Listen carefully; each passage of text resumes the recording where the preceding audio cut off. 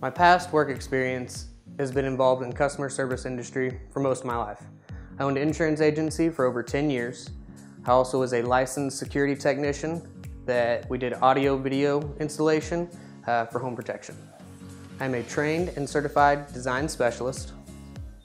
On a typical day as a design specialist, I inspect people's homes, diagnose the issues, and provide the customers with the best solution possible. I enjoy working at Bedlam Concrete Lifting because I'm able to interact with all different types of customers and provide them with a solution that protects their greatest asset.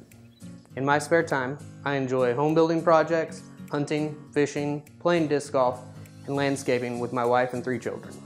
The side of Bedlam I'm on is orange, baby. Go Pokes!